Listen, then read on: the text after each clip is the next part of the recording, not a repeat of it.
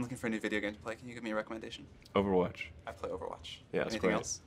Um, Overwatch is amazing. Overwatch is amazing. Yeah, generally Blizzard does great stuff.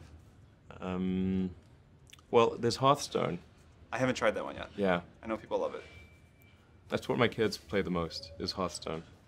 All right. Also from Blizzard. I will Um, check that out tonight. yeah. All right. Well, thank you very much for the time. I know you got right. to get going. Cool. Do, do you play anything besides Overwatch? I mean, have you tried the new You Deus Ex? I have tried the new Deus Ex. The It's best, okay, but like, like The best game I played recently, and it's not a super new game, is The Last of Us. oh, is it It's really? from a couple of years ago. Sure. I loved it. Okay, Last of Us. Yeah. You like that too? Is it really good? Uncharted too. Uh, Yeah, I've heard good things about Uncharted. Th- I was just I've Really, The Last of Us sto- storytelling like that in a video game. I mean, honestly, like, I think that that's really neglected. I mean, that's the, the criticism I've heard of the latest Deus Ex is the story storytelling is is kind of lame. Like, whereas the one the, the prior Deus Ex and the original the original Deus Ex was the storytelling was amazing. I don't know if anybody's played. Have you? Did you play the original Deus Ex?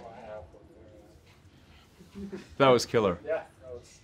As games have become more like the replacement for the NFL, I think the storytelling just gets generally neglected. So it was like especially striking to play one that was like absolutely cinematic Yeah. storytelling.